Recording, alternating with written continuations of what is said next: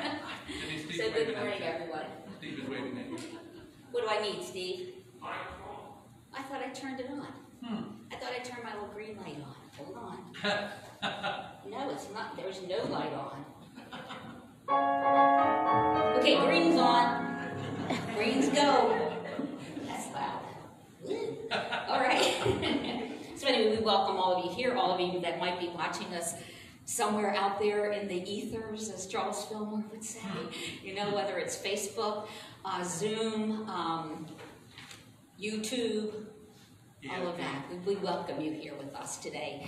And um, you know what? The coolest thing that I was thinking about is with so many people watching from uh, for church from their home.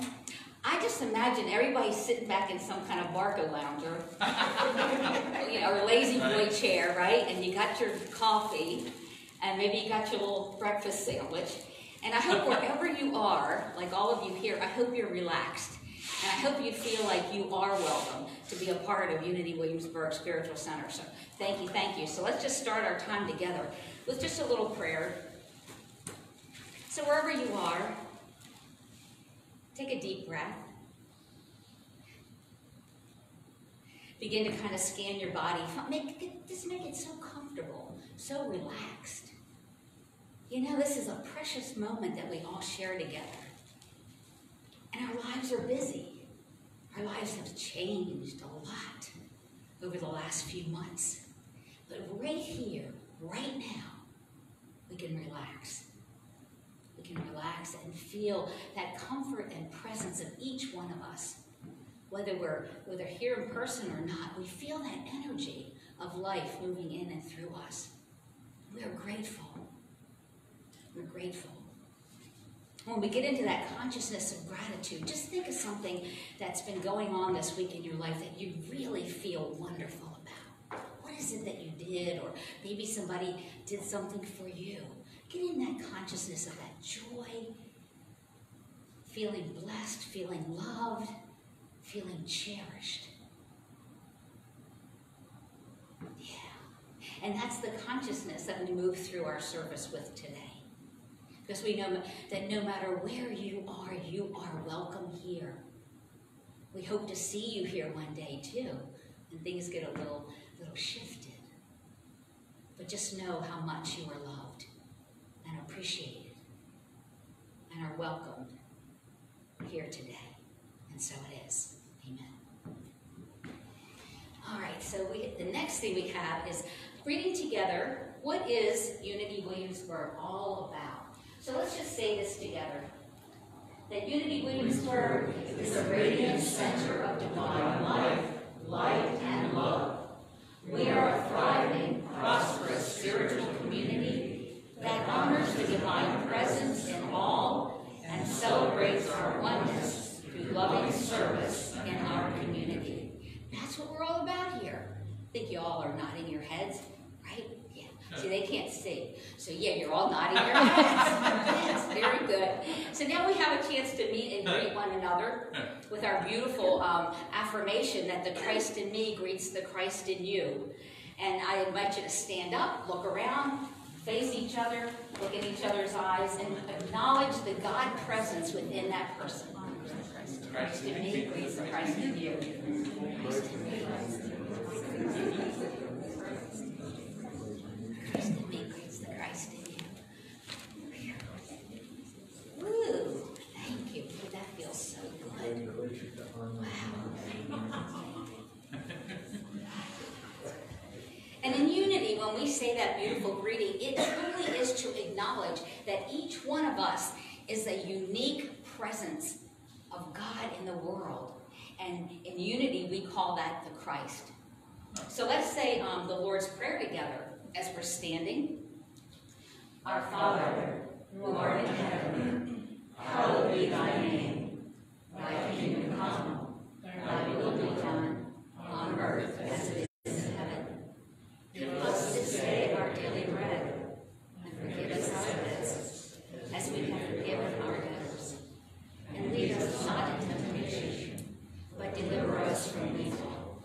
For thine is the kingdom, the power, and the glory, forever and ever. Amen.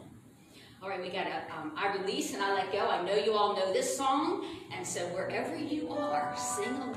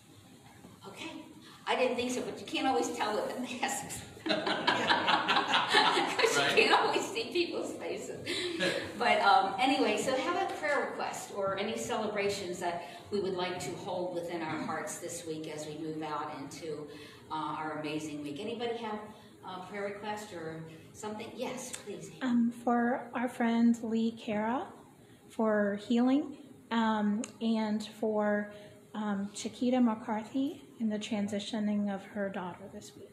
Okay. All right, thank you. Yes, please. After they said we will ask surgery this week, so we'd like some prayers for that. And we had one, someone had a granddaughter tonight. Wow. Congratulations. How cool is that? Little new baby coming into the world. Oh, no, she's not a new lady, she's eight years old. Eight? I gotta keep her for two months. Oh, she's my baby. that's, what I thought you said your baby. All right, yes, please, Uh, prayers for Kathy Wood, Mhm. uh, for healing, and also a Joy, our son in South Carolina, finally got a job after months of being off. All right. Lots of things to celebrate, okay? Yes, please. Russ, Ross and Barbara for a safe trip from Montana to San Antonio. Okay, safe travels, okay? Anyone else? And it will continue to keep um, Susan and Larry uh, Haas in our thoughts and prayers also. So, um, all right, and, and you know, sometimes something will come up on your heart during the Sunday service or maybe during the week, but just know that um, you can always ask for prayer through our um, email and also just know that we'll just, we'll just carry that beautiful blanket of joy and, um, and love out into our week for whoever is having anything going on in their life that we may not have mentioned here. So let us say our prayer together. Together, as we center ourselves in the one presence and one power, we realize that our thoughts have power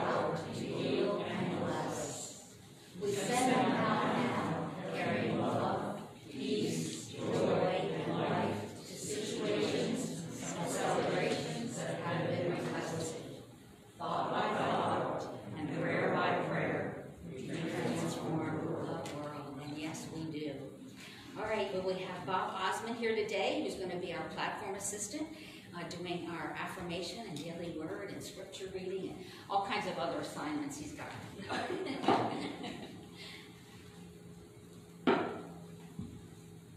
Morning, everybody. Morning. This is the day the Lord hath made, and let us rejoice and be glad in it. I, I was down in Florida all week, and uh, it was hot down there. And as I got off the plane yesterday and was just walking to the parking lot, I said, fall has come.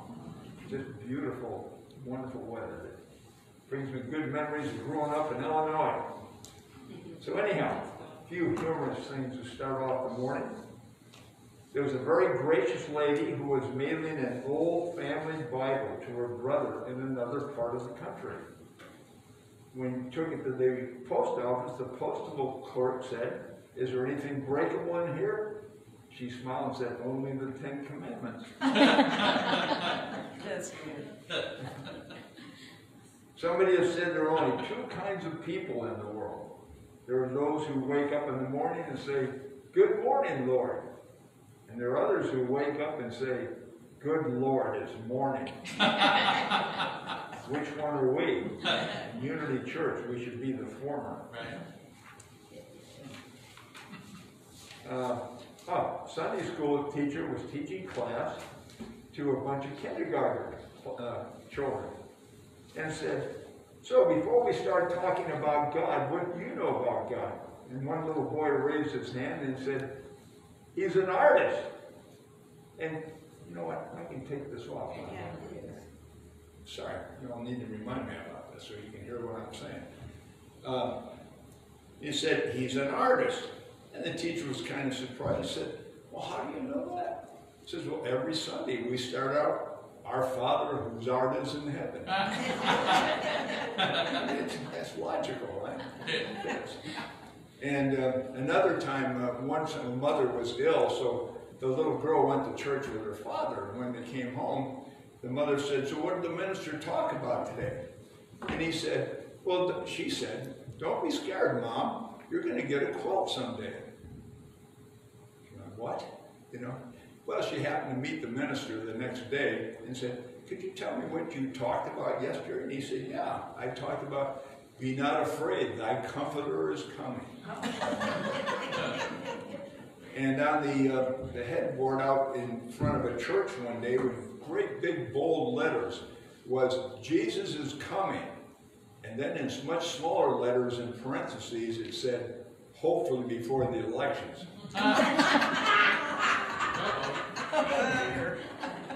And I say the last one in honor of Robert. Uh-oh.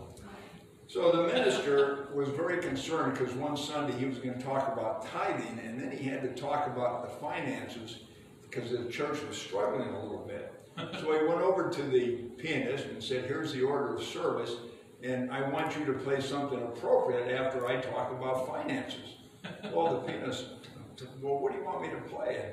And the minister got a little irritated because he thinks, play whatever you think is appropriate and he walked away from him. So again, the minister gave his uh, his talk, and uh, afterwards he said, "You know, I'm sorry to say this, but uh, our roof needs repairing, so we need about four thousand dollars for that. And we need some money for a new oven in the fellowship room, and we need to be sure we have enough money for to pay the pianist."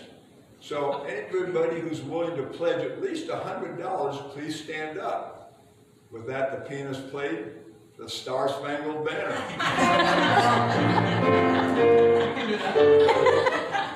and the following week, he got a pay raise. That's funny. I thought you'd enjoy that. I did.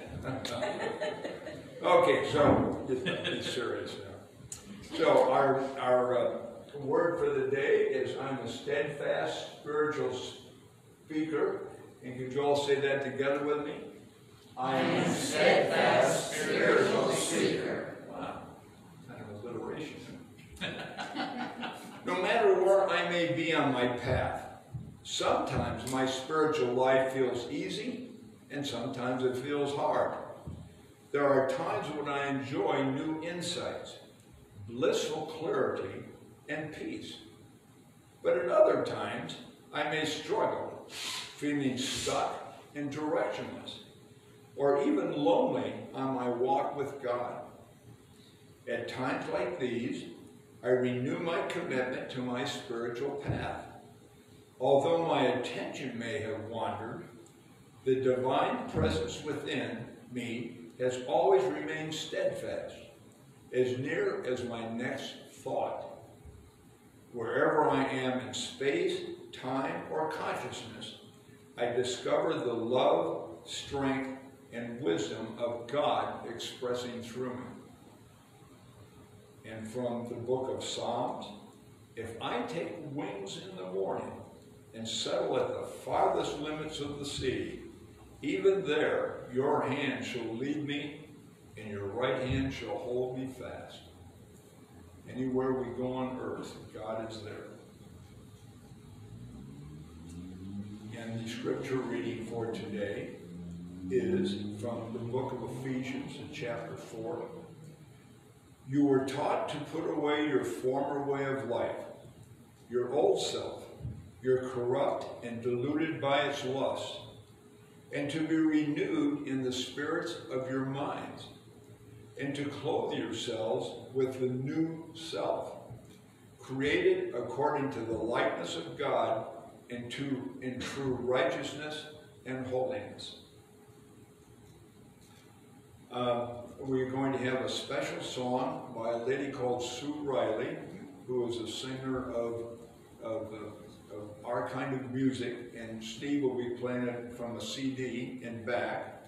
Then Reverend Ginny is going to have uh, the first half of the subject transition to transformation.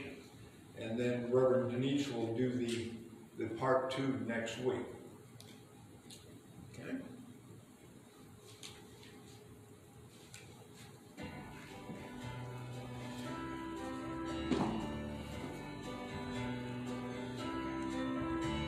When everything changes,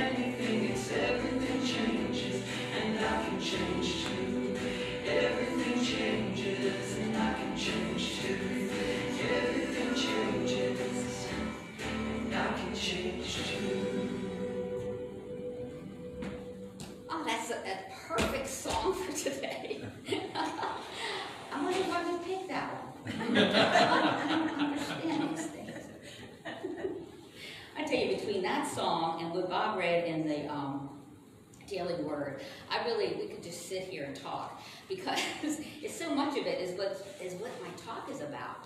You know, we're going to begin this two-week series um, using uh, Reverend Robert Brumet's book called "Finding Yourself in Transition." And uh, it is a great book. I, I read, you know, in getting prepared for today, you can go back and reread everything. So I read the whole book. I'm thinking, this has got so much good stuff in it. So really what I'm going to give you is a little abbreviation, and then I know Reverend Denise will give you the other abbreviation next week. But if you have the book, especially now, because there's so many things going on both in our physical world and maybe for many of us in our, you know, within our own spiritual life, that this book is so right on target, right on target. So guess what we're going to talk about? Change.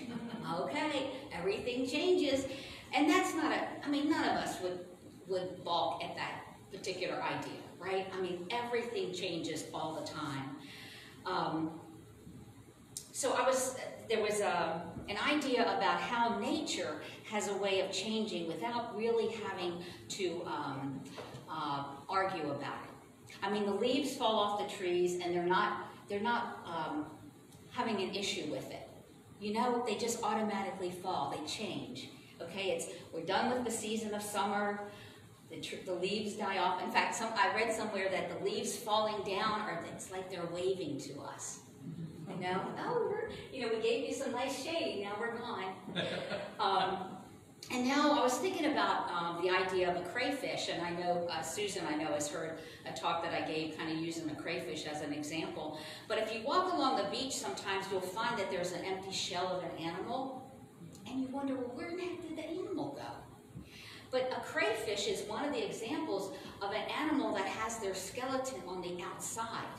And so when they grow, they literally have to shed their skeleton in order to create a new one so that they can get bigger and bigger.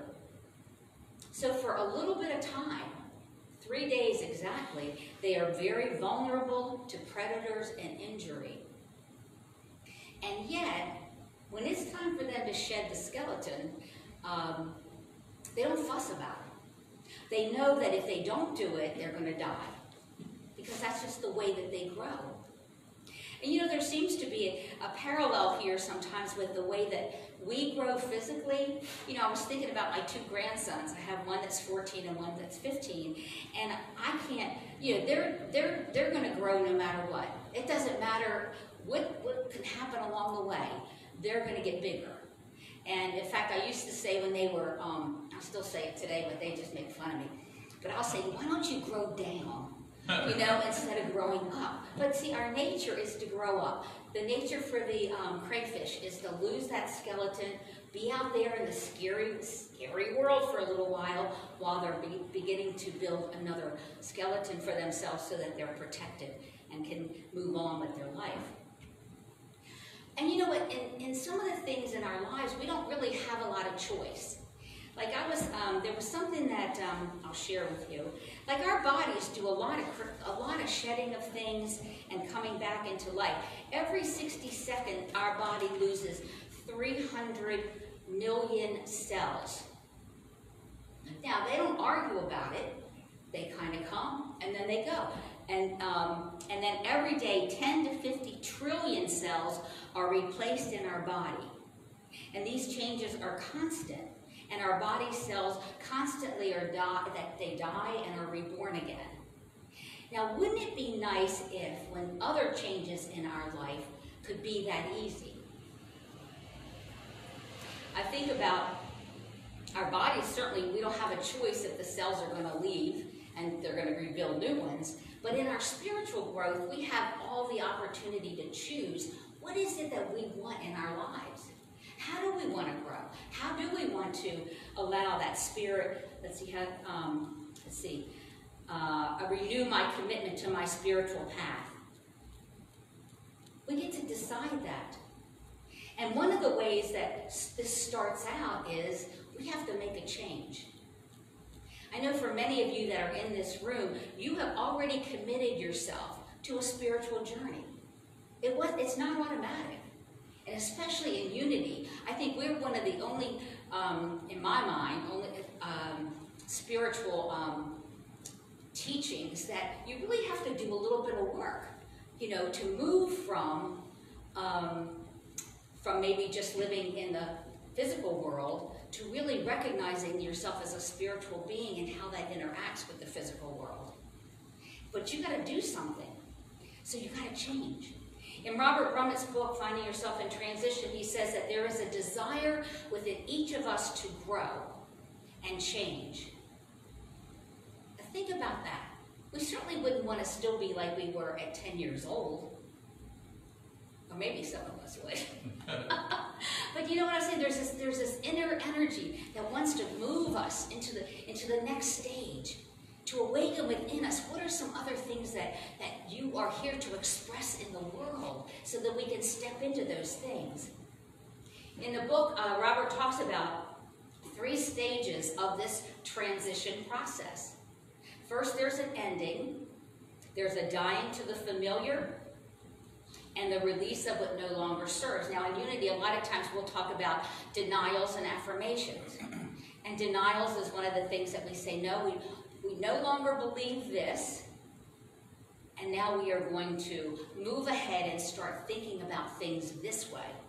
So you deny that that has any power over you because now you're awakening to something new, you're transitioning to something new. Then there's the void. This is the one that we probably don't like the most because there's this time when we wait and we're not really doing anything except we would want to be praying. We would want to be meditating. We would want to be seeing what, what, what am I being called to do next? Intuition. And then the last thing is the new beginning, where something new begins to emerge. Now, change is a natural process and it is inevitable. And as we look through our spiritual eyes, to um, no matter what, when we look out through our spiritual eyes, we recognize that there are more things for us to do. That there is this sense within us for more, for more expression of ourselves in different ways. So change is all around us. It is constant. Uh, we think about change going on. Just think about the change in our physical world. Who would have ever thought at the beginning of 2020 what we would be doing in October of 2020. I don't think anybody could have even dreamt that mm. up. Maybe in a, a sci-fi movie or something like that. But what I'm saying is, how many things have you had to adjust because of just what's going on in the physical world? What are some things that you've had to change? Anybody? Mass. Masks, right? Some people haven't left their home, yes. Other people's attitudes. Other people's attitudes about what's going on, the changes going on. The fear. Oh, fear, okay. Mm-hmm. Not being able to see family as much as you are used to and want to. Yeah. A lot of people haven't seen their family since March because of, of COVID, right? Um, anything else? Zoom. Everybody's Zooming. Zooming meetings, Zooming school, Right. Zooming. Right. We've had to get to a whole nother world of technology so that we can even stay connected with people, right? Through Zoom and that kind of thing. We can't leave our homes. Many of us have stayed in our homes. Uh, you can't travel as much. You can't eat, enjoy eating in a restaurant in many in many locations. Um, the elderly that are in you know facilities, you can't go see them. Um, you- can't have family around. You know, if you're in a hospital visit or something like that, you can't do that anymore. But look how much we've adapted. I mean, in six months, we've really adapted a lot to all of these changes. So in the ending change of a process, we have to say, it's no longer like this. Now it looks like this, right? And during the change, as we're ending something and moving and moving through the void and finding out what the new beginning is, we have an opportunity to not just change situations, but we change within ourselves. That's the key. That's the key. Something changes within us. Because as I said before, when you're when you are moving through things, when something really is ending for you that is that is um, very difficult. I mean, let's say that there is a divorce or a death, and it's really difficult to imagine not having that. But that's ending. Where do we go?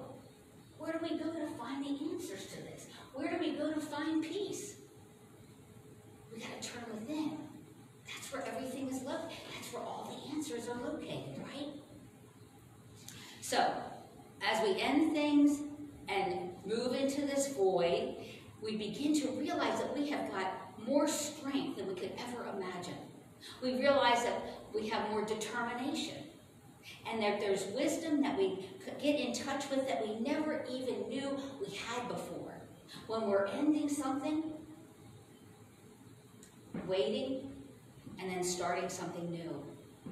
Think about it, I, I kind of think this is kind of interesting. You know, in Jesus' life, he was always challenging people to make major changes in their life.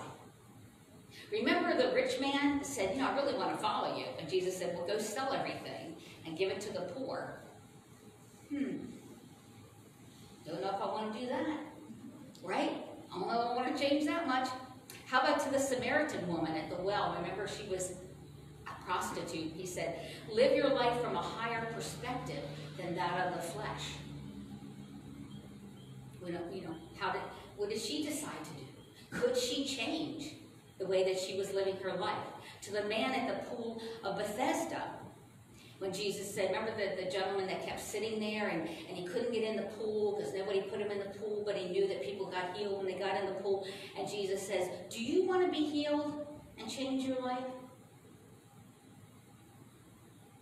Hmm. He did. And then to Zachariah, um, Zacchaeus, he was a tax collector. And Jesus invited him to change because he was a little bit on the greedy side. But we can decide if we want to do the change or not. But sometimes it's so miserable. We are so miserable. It's so painful. We don't have any choice but to change. And to transform into something new. So, what happens in this idea of the void? This stage is characterized by a feeling of emptiness and a sense of wandering in the wilderness or being adrift at sea. Are you thinking now of any time in your life where you have had to end something? And then all be in this be in this void for a period of time? When you really felt, I don't know, I don't know what's going on. I don't know what I, I don't know what I'm gonna do. Anybody feel that way? Yeah. I mean, you do. You feel like you're in a fog, don't you? Emptiness, wandering in the wilderness. Robert Brumet says, in the void, time and space seems to lose their former reality, and self seems like a phantom, a ghost from a former incarnation. Feels flat and empty, and nothing seems quite real. Every attempt to snap out of it or pull ourselves together ultimately proves futile. It's like trying to put Humpty Dumpty back together again. Mm-hmm. We don't like having to change, but there's so many blessings in it. The void touches our deepest fears of helplessness, abandonment, and death, and we feel very vulnerable, just like that little crayfish did. However, the void can be seen as a passageway to becoming truly alive and fully awake. That's the promise. If you get through it, you're going to be even more alive and more awake. In the void, we may encounter maybe what we think is a new beginning. So let's say we've lost the job. And, um, and right now, of course, a lot of that, people are going through a lot of that now because of all sorts of, of, of all, because of the virus thing and all sorts of things that have come from that. But then you think, well, let me just, I'll, I'll just, as soon as something ends, we automatically think, I gotta do something. You know, we don't like that feeling of nothing happening. So I gotta make something happen. Okay, let me go make something happen. I'm gonna find something to do. I'm gonna, instead of allowing yourselves or ourselves to just be in that void and see what opportunities might come up. Not slip into such fear that, my gosh, the next thing you're doing is um, anything. Wait, wait, listen. See what kind of opportunities um, open up. How many times have you heard of people that have lost a job and they wound up doing what they always wanted to do? They'll go, you know what? That was the best thing that ever happened to me. Right? All of a sudden they wind up opening a shop that they, you know, they always wanted to do. Or they start teaching something that they've always wanted to do. Or they move to another part of the country. I've always wanted to live in Montana. I'm going to go there. Let's go. So sometimes these things that look like they're, oh my gosh, the sky is falling, are such a blessing for us. But we got to put on our spiritual eyes to see that and not get in, a, in fear and panic. It says um, during that time of being in the void, you actually have a time to think about, once again, who am I? What is real? What is my life about? And what is my place in the world? Those are questions that you can ask yourself it, within, you know, so that you feel drawn from that spirit within you to, to look, relook at things again. Readjust. What can be wonderful? What can come of this? We use this time for prayer and meditation, listening to our intuition, waiting for that inner spirit to guide and direct us. And we have to hold on to our faith that everything is unfolding perfectly, even before we can ever receive, ever see a result in the world. And think about that. We talk about divine order in unity. What does that mean? That means there is an energy that is, that is moving through things in a, in a beautiful way. But sometimes, boy, we want to get our hands on that steering wheel and boy, we want to get down that road fast. Instead of allowing that beautiful spirit within us to really touch us and move us in a direction we, ne- we may never have thought about. Or sometimes we, we actually can have that little touch with something that we wanted to do when we were a little child. You know, when I was little, I was always wanted to do da da da da. So one of mine is I've always wanted to be an actress. so I guess this is this is my actress stuff right here, right? But I mean, sometimes you get in touch with things that you wanted to do when you were a little, when you were little, and now you have a chance to do it, right? And that and that energy of life kind of takes you along and says, "Go try it, go try it out, see how that works for you." This is the way that spirit wants to express through you. One of the things in the void, it says, uh, avoid making major decisions, because remember, you're kind of in a little bit of a fog. Don't hurry the void. Pray and meditate. Spirit has a plan that is unfolding. Sometimes it doesn't unfold overnight. So that little void, that wait time. Pay attention to your dreams. Keep a journal. Uh, talk about and write anything that goes on in your day that you see that's good. Because a lot of times our mind's going to kind of take us down the uh, a road of, oh my gosh, um, fear and uncertainty and anxiety. And then uh, surround yourself with people that will support you and not be negative and go, oh, you know, the job market really down now. Probably not going to be a chance you're going to get to find something. You know, you don't want to be around those people. You want to be around people that say, yeah, I, I support you. I know you're going to find what's right and perfect for you. Right? And lastly, lastly um, Eileen Cady in Footprints on the Path says, have no fear of moving into the unknown. Simply step out fearlessly, knowing that I am with you. Therefore, no harm can befall you. All is very, very well. Do this in complete faith. So let's just take a moment. Take a breath. Maybe something that was said in the song, or something that I've said, or something along the way, the music has ignited within you uh, something to take into this time of meditation. So as you take a breath and uh, relax once again, open ourselves up to, I don't know, unlimited possibilities. You know, everything's changing, but wow, where could that take me now? There's a beautiful poem by James Dillet Freeman. I'll read that during our time of meditation, and it says this Do you need me? I am there. You cannot see me, yet I am the light you see by. You cannot hear me, yet I speak through your voice. You cannot feel me, yet I am the power at work in your hands. I am at work through you, even though you do not understand my ways. I am at work through you, even though you do not recognize my works. I am not strange visions. I'm not mysteries. Only in absolute stillness, beyond self, can you know me as I am. And then, but as a feeling and a faith, yet I am there. I hear you. I answer you. When you need me, I am there. So just take that into the quiet of these few moments.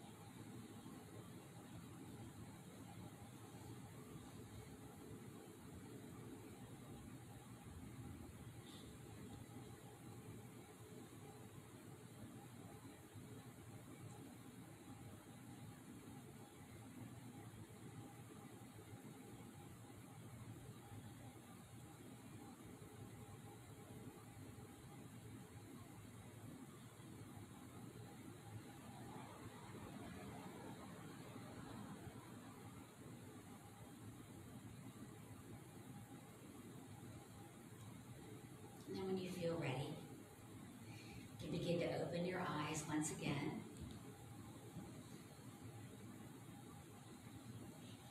Just take that beautiful feeling of quiet and calm and peace. and knowing that that Spirit of God always is with you. No matter what the week holds for you, you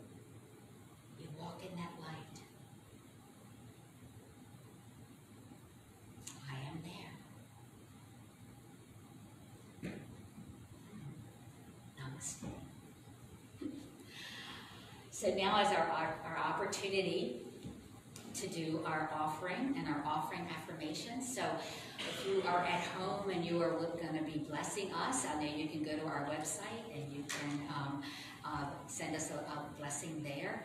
And all of you here, if you have your blessing and you can hold it in your hand, and we're so, we are so blessed here at Unity Williamsburg Spiritual Center. And so we hold it in our hands, and if you want to hold it near your heart, just to send that, that beautiful gift, love, as it blesses our church community and goes out into our community in many ways. And then let's say our blessing, divine love, through me, blesses and multiplies all that I have.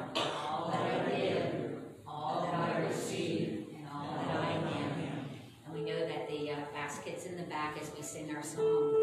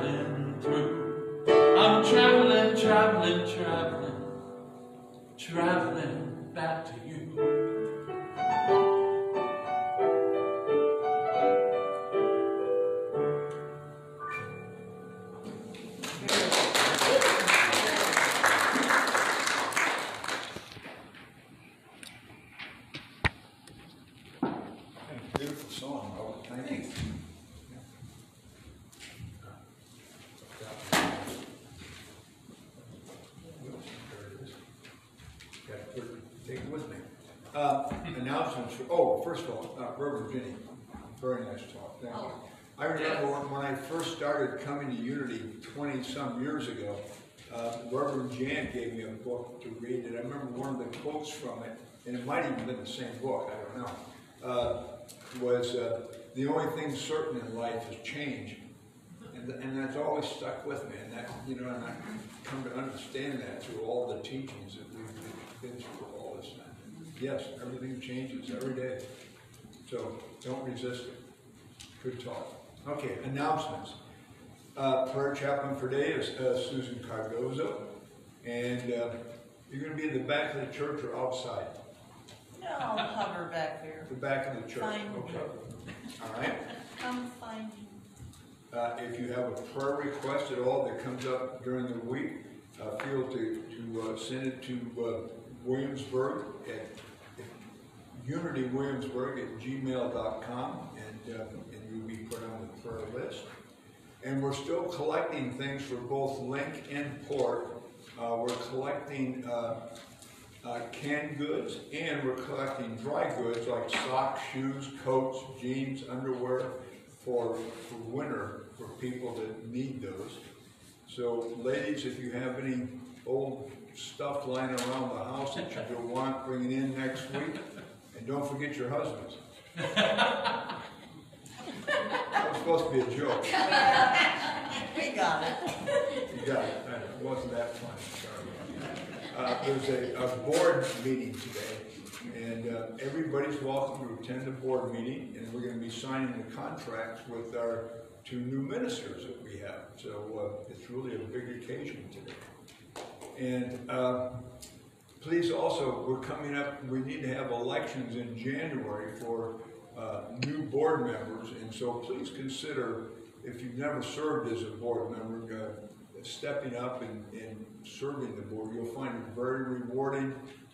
They have about a one-hour meeting once a week, uh, once a month, and, uh, it would be certainly giving back some of the service to the church. And next week, as we mentioned, Reverend Denise will do the second half of the talk that Reverend Ginny uh, started today. Any other announcements from the floor? No? Okay, can we stand for the peace song, please? That's it, peace